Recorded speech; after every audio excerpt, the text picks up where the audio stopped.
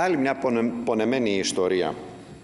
Ακούστε, θα πω τρεις ειδήσεις πολύ σύντομα. Νηπιαγωγός, ε, εδώ λίγο παραπάνω, του ζωγράφου, την ώρα της εργασίας της, προσέχοντας δηλαδή τα νήπια στην αυλή, ε, πέφτει και σπάει το πόδι της και χρειάζεται να χειρουργηθεί για να αντιμετωπιστεί το πρόβλημα.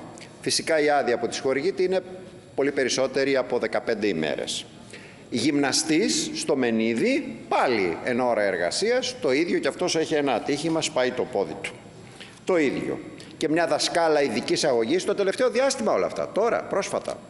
Στο Λαγκαδά, επάνω στη Θεσσαλονίκη, την ώρα που κατεβαίνει στις σκάλες και προσπαθεί να και προσέχει ένα παιδί στην προσπάθειά της μάλλον να το κρατήσει για να μην πέσει πέφτει η ίδια και σπάει και αυτή το πόδι της και βέβαια η, άδεια, η αναρωτική άδεια που της δίνεται όπως καταλαβαίνετε για όποιον σπάσει το πόδι του είναι πολύ περισσότερο από 15 μέρες. Αλίμονο όμως, ό,τι και λέει η ιατρική επιστήμη το ελληνικό δημόσιο, η ελληνική πολιτεία έχει τους δικούς, τους δικούς τους νόμους και από την υπηρεσία τους ενημερώνουν λοιπόν αυτούς τους τρεις εκπαιδευτικούς οι οποίοι έχουν ένα κοινό χαρακτηριστικό κύριε Πρόεδρε. Είναι αναπληρωτές, δεν είναι μόνιμοι. Τους ενημερώνει λοιπόν η υπηρεσία ότι η άδεια που δικαιούνται είναι μονάχα 15 μέρες. Και για τις υπόλοιπες μέρες που δεν θα μπορούν, αντικειμενικά δεν θα μπορούν οι άνθρωποι να πάνε στη δουλειά, ούτε θα πληρωθούν, ούτε τα ένσημά τους θα τα πάρουν, τα ασφαλιστικά τους δικαιώματα, ούτε τα μόρια τους για αυτήν την προϋπηρεσία. Πείτε μου τώρα, αυτός δεν είναι ένας αντεργατικός παραλογισμός; Δηλαδή, έρχεται το ελληνικό κράτος και παραβιάζει τους νόμους της ιατρικής επιστήμης και τα πορίσματα, διότι περί αυτού ε, πρόκειται. Η αγανάκτηση, κοιτάξτε, ε, στους εκπαιδευτικούς και ιδιαίτερα στους αναπληρωτές είναι πολύ μεγάλη, γιατί εν τέλει το 2023-2024 οι ζωές των ανθρώπων και οι ζωές των εργαζομένων δεν μπορεί να μένουν ξεκρέμαστες με αυτόν τον τρόπο. Το λιγότερο που έχετε να κάνετε, κυρία Υπουργέ, και αυτό σας ζητάμε να κάνετε, είναι να αλλάξετε αυτή τη διάταξη και να δικαιούνται όλοι οι εργαζόμενοι στην εκπαίδευση. Για αυτούς γίνεται η ερώτηση. Τις ίδιες ημέρες αναρωτικής άδειας και αυτές δεν μπορεί να είναι λιγότερες από αυτές που προτείνει ο γιατρός. Τις άδειες τις αναρωτικές δεν τις δίνει ο προϊστάμενος, τις δίνει ο γιατρός, από όσο γνωρίζω. Ευχαριστώ. Ευχαριστούμε πολύ τον κύριο Δελή. Παρακαλώ πολύ, κύριε Υπουργέ. Τρία λεπτά για την πρωτολογία σας. Πρόεδρε, ευχαριστώ, κύριε Πρόεδρε. Κύριε Βουλευτά, γνωρίζετε πολύ καλά ότι το νομικό πλαίσιο που προσδιορίζει τα εργασιακά δικαιώματα των μόνιμων υπαλλήλων του δημοσίου δεν είναι το ίδιο με αυτό των συμβασιούχων ορισμένου χρόνου. Για το εάν πρέπει ή όχι να είναι το ίδιο, είναι μια συζήτηση που επίσης γνωρίζετε ότι ξεπερνά τις αρμοδιότητες του Υπουργείου Παιδείας παρόλο που το ερώτημά σας αφορά στους συμβασιούχους εκπαιδευτικούς. Μου είναι επίσης δύσκολο, κύριε Δελή, να πιστέψω ότι οι δύο εκπαιδευτικοί οι οποίοι τραυματίστηκαν εν ώρα εργασίας δεν γνώριζαν τα δικαιώματά τους και ότι παρέμειναν από την Διεύθυνσης της Πρωτοβάθμιας Εκπαίδευσης να ενημερωθούν από εκεί. Δεν γνώριζαν οι εκπαιδευτικοί μας ότι στην περίπτωσή τους η αναρωτική άδεια με πλήρεις αποδοχές είναι 15 μέρες δεν γνώριζαν ότι οι 15 μέρες μπορεί να γίνουν 30, όπως στην περίπτωση αυτής της εκπαιδευτικού που έσπασε το πόδι της, αν πάρει γνωμάτευση και πά. Δεν γνώριζαν ότι μετά την λήξη των 15, των 30 ημερών, αν έπαιρνε τη γνωμάτευση από τα ΚΕΠΑ, μπορούν να παρατείνουν την ανερωτική τους άδεια αν προσκομίσουν σχετική ιατρική γνωμάτευση χωρίς τις αποδοχές. Φυσικά το γνωρίζουν. Δεν νομίζω ότι είναι κάτι το οποίο δεν γνωρίζουν και όπως όλοι μας όταν μπαίνουμε σε μία θέση εργασίας γνωρίζουμε τα εργασιακά μας δικαιώματα. Έτσι και εγώ πληρώνω από το δημόσιο, αλλά δημόσιος λειτουργός δεν είμαι. Τα αναφέρω αυτά για να πω ότι δεν ωφελεί η προσπάθεια να δημιουργήσουμε εντυπώσεις, λέγοντας ότι οι αναπληρωτές αντιμετωπίζονται από την πολιτεία ως εργαζόμενοι δεύτερης κατηγορίας και ότι τιμωρούνται, ας πούμε, επειδή αρρώστησαν. Καλύτερα να αποφύγουμε τέτοιους βερμπαλισμούς, θα ήθελα να πω, και να θέσουμε το πρόβλημα στη σωστή του βάση, στην οποία βάση νομίζω ότι εσείς και εμείς συμφωνούμε. Να πούμε δηλαδή ότι δεν συνιστά κανονικότητα του εκπαιδευτικού συστήματος οι αναπληρωτές εκπαιδευτικοί να καλύπτουν σήμερα το 1 τρίτο των λειτουργικών αναγκών του εκπαιδευτικού μας συστήματος. Άλλωστε, ως Υπουργό Παιδείας έχω πει επανειλημμένα ότι το γεγονός αυτό συνιστά στρέβλωση του θεσμού του αναπληρωτή, ο οποίος υπό άλλες συνθήκες συμβάλλει αποφασιστικά στην εύρυθμη λειτουργία των σχολείων.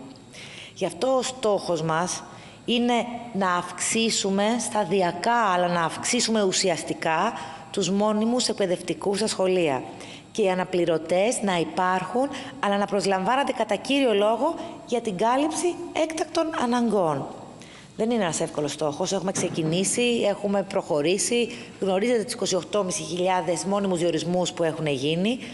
Γνωρίζετε ότι το πρόβλημα ξεκίνησε στα χρόνια της οικονομικής κρίσης και γιγαντώθηκε κατά τη διάρκεια της, ενώ πρόσφατα οι συμπεριληπτικές πολιτικές του Υπουργείου Παιδείας έχουν αυξήσει κατακόρυφα τις λειτουργικές ανάγκες του εκπαιδευτικού μας συστήματος, καθότι πλέον έχουμε τόσο πολλές ανάγκες που πρέπει και εξυπηρετούμε, κυρίως για παράλληλη στήριξη. Μπορούμε ωστόσο σε ένα εύλογο βάθος χρόνου και αυξάνοντας σταδιακά τον αριθμό των διορισμών να αποκαταστήσουμε την αναλογία αναπληρωτών μονίμων υπέρ βεβαίως των μονίμων και δεσμευόμαστε σε αυτό. Ευχαριστώ. Ευχαριστούμε πολύ την κυρία Υφυπουργό. Παρακαλώ πολύ κύριε Δελή, τρία λεπτά για δευτερολογία σας. Ναι, καταρχάς κυρία Υπουργέ, θεωρώ ατυχή την εκφορά του λόγου σας ότι αυτό το κάνουμε για να δημιουργήσουμε εντυπώσεις. Ε, δεν το συνηθίζουμε, ξέρετε, εμείς το ΚΚΕ αυτό. Άλλοι μπορεί, εμείς πάντως όχι. Εμείς αυτό που κάνουμε είναι να μεταφέρουμε τα δίκαια αιτήματα των εργαζομένων εδώ μέσα στη Βουλή. Αυτό κάνουμε και τώρα. Και νομίζω ότι δεν υπάρχει λογικός άνθρωπος ο οποίος να μην κατανοεί το δίκαιο αυτού του αιτήματος. Δηλαδή και οι αναπληρωτές και οι μόνιμοι να έχουν τα ίδια δικαιώματα στην υγεία, εν πάση περιπτώσει. Τουλάχιστον στην υγεία. Εμείς λέμε σε όλες τις άδειες και παντού. Δεν υπάρχει καμία συζήτηση λοιπόν ανοιχτή, η οποία είναι μια πολιτική της Ευρωπαϊκής Ένωσης, την οποία τη γνωρίζετε πάρα πολύ καλά. Αυτή εμποδίζει, στην οποία εσείς και όχι μόνο και άλλοι εδώ μέσα ε, πίνετε νερό στο όνομά της, για την Ευρωπαϊκή Ένωση μιλάω, η οποία απαγορεύει ουσιαστικά να έχουν οι εργαζόμενοι τα ίδια δικαιώματα, δηλαδή με την πολιτική της διαιρεί τους εργαζόμενους. Αυτό κάνει.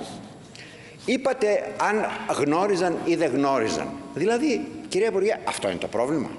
Επειδή γνώριζε δηλαδή συγκεκριμένη νηπιαγωγός, τι, ε, αυτό ευθύνεται για το ότι έπεσε και έσπασε το πόδι της; Μα προφανώς και όχι.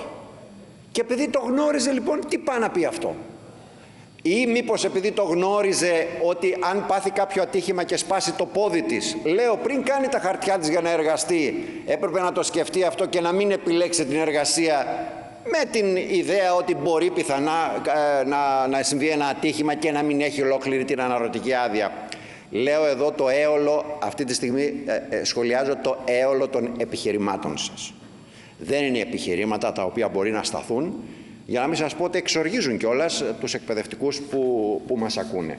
Κοιτάξτε, το ζήτημα είναι ότι οι άνθρωποι αυτοί δεν έχουν τα ίδια εργασιακά δικαιώματα. Δεν έχουν τα ίδια δικαιώματα στην υγεία. Δεν έχουν μεταξύ ούτε τα ίδια δικαιώματα. Ξέρετε, έχουμε κάνει επανειλημμένα τη συζήτηση και με υπουργούς παιδείας προηγούμενων κυβερνήσεων. Ε, συνολικά στο ζήτημα των αδειών είναι εργαζόμενοι β' κατηγορίας. Τι να κάνουμε, εμείς φταίμε γι' αυτό. Η δική σας πολιτική τους αντιμετωπίζει ε, έτσι. Και σε κάθε περίπτωση έχουν και οι ομοσπονδίες τους και τα σωματεία τους και εμείς έχει μαλλιάσει η γλώσσα μας να καταθέτουμε εδώ προτάσεις και το αίτημα το δικό τους βέβαια το κεντρικό που είναι να εξισωθούν αυτά τα δικαιώματα των συμβασιούχων εκπαιδευτικών με τα δικαιώματα των, ε, των μονίμων. Και μιλάμε για εκπαιδευτικούς κυρία Υπουργέ. Ε, υπάρχουν εδώ και, και μαθητές που, που μας ακούνε για εκπαιδευτικούς οι οποίοι έχουν φάει τα νιάτα τους να γυρίζουν από άκρη άκρη σε όλη την Ελλάδα από τη μια άκρη στην άλλη για να δουλέψουν στα σχολεία και στην εκπαίδευση. Συνεπώς, επαναλαμβάνω, θα σας καλέσουμε ιδιαίτερα ως προς αυτό το ζήτημα, ιδιαίτερα ως προς αυτό το ζήτημα, το ζήτημα δηλαδή της εξίσωσης των αναρωτικών αδειών. Νομίζω ότι είναι το πιο λογικό, το πιο δίκαιο αίτημα θα πρέπει αυτό να το κοιτάξετε και να δεσμευτείτε ότι θα το αλλάξετε και θα έχει ένας άνθρωπος που χτυπάει, που σπάει το πόδι του, δηλαδή άμα ένας άνθρωπος είναι μόνιμος, έχει δικαιούται περισσότερες ημέρες αναρωτικής άδειας από κάποιον που δεν είναι μόνιμος, έχει δηλαδή άλλες ανάγκες στην υγεία. Το δικαίωμα στην υγεία είναι διαφορετικό ανάλογα με την εργασιακή σχέση.